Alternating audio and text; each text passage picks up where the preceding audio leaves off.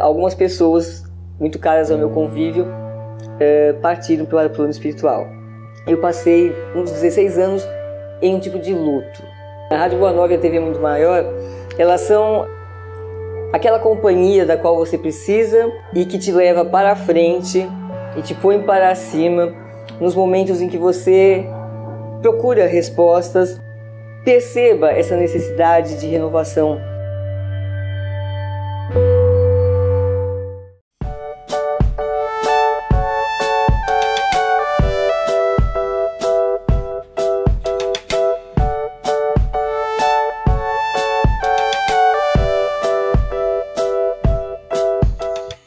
Olá, uma vez mais aqui estamos com o nosso programa Mediunidade Hoje, através da TV Mundo Maior.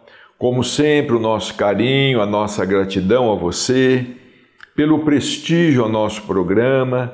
Temos tido notícias de várias pessoas que acompanham o nosso programa e a programação da TV Mundo Maior, não é? que presta um serviço maravilhoso a divulgação da doutrina espírita e a formação espiritual das pessoas.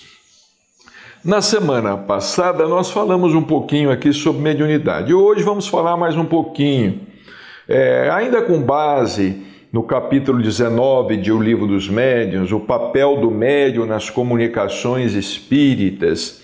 Este capítulo precisava ser lido, relido, estudado, reestudado é, pelos médiums em geral, e sem dúvida, sem dúvida alguma, estudado parágrafo a parágrafo.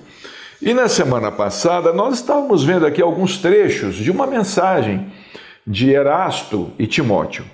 Mensagem assinada por Erasto e, e Timóteo, que especialistas no assunto, especialistas no tema mediunidade, tal a profundidade com que eles com que eles abordam o assunto.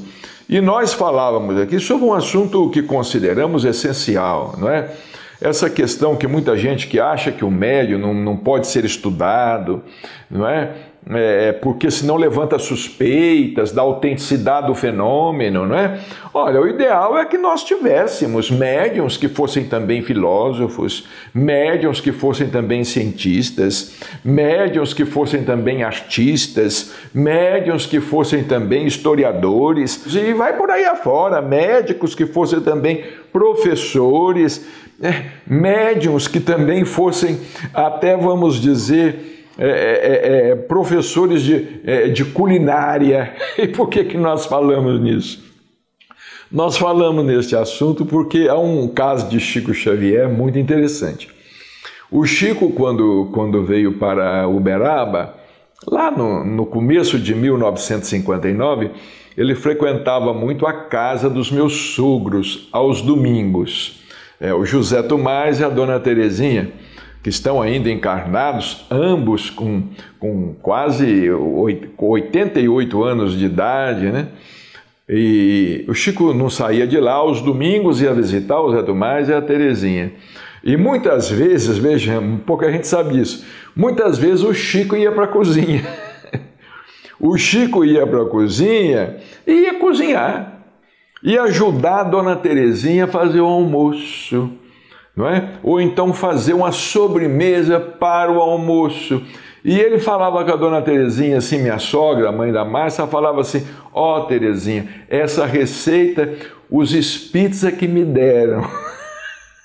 Olha que coisa interessante. Ele ia preparar lá um doce, não é? E ele falava com a dona Terezinha. a dona Terezinha falava: Uai, Chico, que receita é essa? Não, Terezinha, essa receita, os espíritos é que me ensinaram. Então, gente, a mediunidade Chico é uma mediunidade sem tamanho, não é? A gente não, não, não, não sabe nada de Chico Xavier, da sua potencialidade mediúnica, de sua capacidade mediúnica é, extraordinária, né? Então, o ideal é que o, os médiums, não é, é não fossem é, a gente no, como no passado, eu queria que os médios fossem apenas pessoas simples, humildes, de pouco estudo, não é? Simples, humildes, pensando assim, não, Quanto menos cultura, quanto menos conhecimento o médio tiver, não é? Mais nós vamos acreditar na comunicação. Isso não é assim, não. As coisas não são assim, não. Já teve o, a sua razão de ser lá nos primórdios, porque quase ninguém ia para a escola, quase ninguém se formava, quase ninguém tinha diploma, quase ninguém estudava, não existia livro. A coisa mais difícil era livro. A pessoa é, que conseguia até o quarto ano primário conseguia uma proeza. Não é? As para as mulheres, então, era muito mais difícil essa questão de escola não é? Ah, mas muita gente vai dizer, ah, mas Chico Xavier, é, Chico Xavier, ele só fez o quarto ano, não é? Ele só foi até o quarto ano primário e, no entanto, sim, nesta existência, Nesta existência, ele foi até o quarto ano primário, mas nós nos esquecemos de que Chico Xavier veio à Terra cumprir um mandato mediúnico. Ele nasceu com a cabeça preparada, com o cérebro preparado, ele, ele nasceu com o organismo preparado, com o físico preparado, condição hormonal preparada, tudo preparado para que ele tivesse acesso aos seus arquivos do passado, não é? Porque a, se enganam aqueles que acham é, é, que Chico Xavier é, não sabia nada, não é? Não sabia, ele sabia tudo, quase tudo, digamos assim não é? Ele discutia sobre qualquer assunto. E muita gente fala assim: ah, mas era Emmanuel. Não, não era Emmanuel, não. É Emmanuel de vez em quando. Ah, era o doutor Bezerra? Não, não era sempre o doutor Bezerra, não. Doutor Bezerra de vez em quando. Ah, mas era André Luiz que estava ali. Não, não era André Luiz sempre, toda hora, não. André Luiz tinha o que fazer no mundo espiritual, Emanuel também, doutor Bezerra também. Muita coisa era o Chico mesmo acessando as suas reminiscências, não é? Porque, é, vamos dizer assim, o espírito mais de maiores conquistas, o espírito mais evoluído, essa questão do esquecimento do passado é relativo, é, é, é, relativa, né? Essa questão do esquecimento do passado. O Chico dizia, vejam bem, ele dizia que com cinco anos, é, com cinco anos de idade, ele tinha todo o Evangelho segundo o Espiritismo na cabeça. Pode uma coisa dessa? Não é? Pode uma coisa dessa? Ele falar, um menino de 5 anos de idade, como ele era, né? Olha, uma vez ele falou, eu não sei porquê, mas desde os 5 anos de idade eu tenho todo o Evangelho segundo o Espiritismo na cabeça. Então veja como foi que ele reencarnou, não é? é que espírito era esse? Então muita gente fala assim: não, o Chico fez quarto ano primário, fez quarto ano primário. Ora, gente, com 12 anos de idade, é, é, é 12 para 13 anos de, de idade, é 12 anos. Ele, ele psicografou a sua primeira mensagem. Quando ele foi fazer lá uma redação sobre descobrimento do Brasil, ele viu um espírito perto dele falando o que ele tinha que escrever. Depois, com 17 anos, ele se tornou espírita. Com 17 anos, ele se tornou espírita. E com 17 anos, ele recebeu como médium espírita a primeira mensagem, no dia 8 de julho de 1927.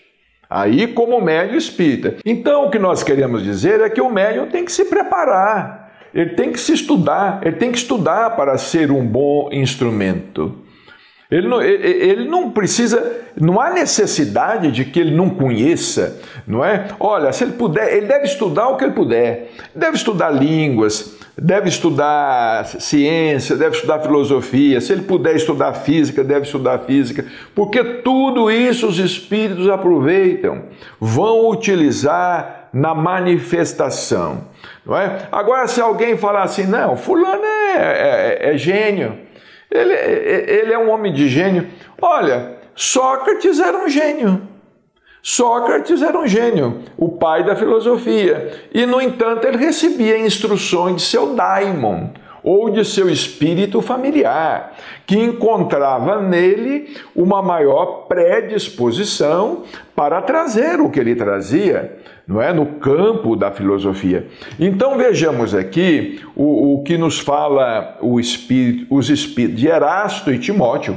Nós falamos um pouquinho no programa anterior e vamos ver o que, o que, que eles continuam dizendo aqui. Olha, quando queremos proceder por ditados espontâneos, agimos sobre o cérebro, sobre os arquivos do médium, arquivos do médium, e reunimos nossos materiais com os elementos que ele nos fornece. Deu para entender? Não está claro isto aqui? Não é Kardec que está dizendo? Não é Kardec que está dizendo? O que é que os espíritos fazem? Reunimos nossos materiais com os elementos que ele nos fornece. E tudo isso sem que ele o perceba. É como se tirássemos de sua carteira o dinheiro que aí pode haver e combinássemos os, os diferentes valores, segundo a ordem que nos pareça mais útil.